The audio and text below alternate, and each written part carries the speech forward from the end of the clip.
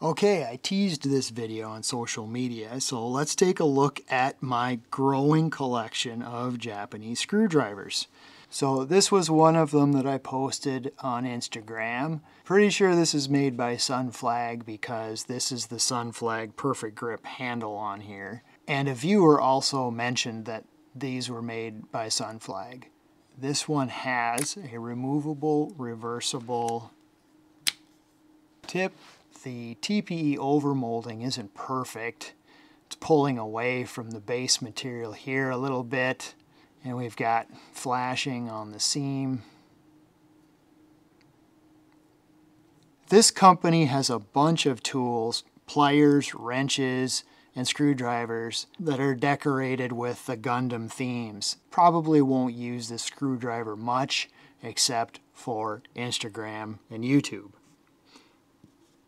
All right, let's talk about the Sunflag 3370. There's also a 3380 series. 3370 has the striking cap, and it's not as grippy as some of the other overmoldings on these other brands. Sunflag you can find on Amazon.com, and I'll give you links, and they specifically market these as JIS standard B4633 even though you do not specifically see the JIS logo on this label. That this was the only label that was on this product when I got it. So there's nothing on here specifically that says JIS. And you'll find that to be true in many cases with screwdrivers. These manufacturers make Japanese cross type because they're Japanese. They don't make Phillips. They make Japanese cross type. So I've got all the Vessel ball grip over here, but I've got two Vessel Vector products over here. And these are, they're low voltage insulated. This is the original packaging on the Vessel Vector. Let's do Google Translate. Driver for Vector for low voltage. So there it is.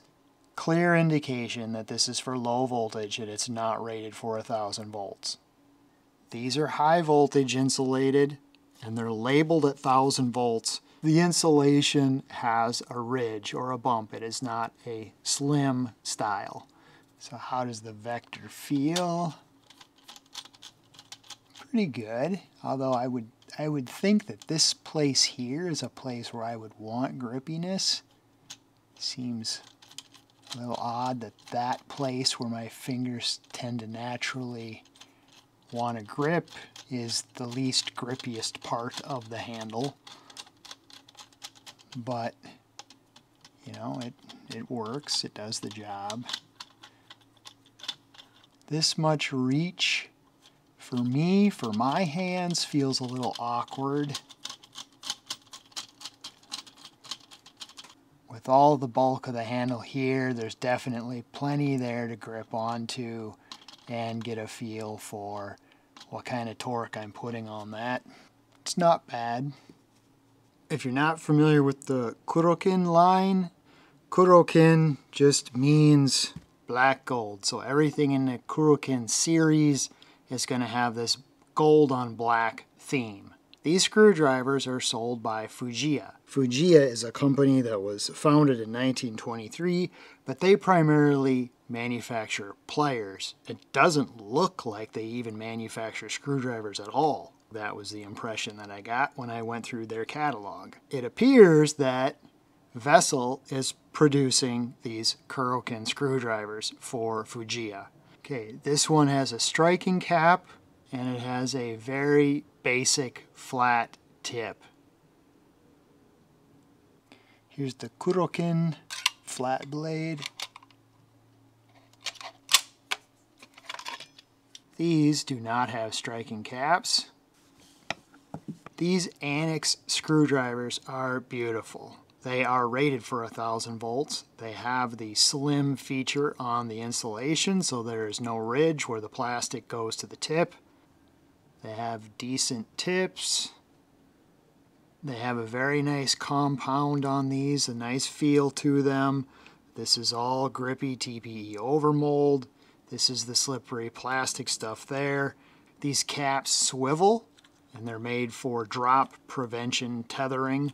So this is the Anex, slim insulation with drop prevention function for screwdriver work, rotating cap, made in Japan and rated for 1000 volts. This is a solid state relay made in China and this Japanese cross type just fits perfectly in that. Okay, the spinning cap works really good. It's nice having that spinning cap there. You know, having this stuff on here is a little bit annoying, but if you have to have it, then you have to have it. For some reason, they only mark the flat and they don't mark the plus.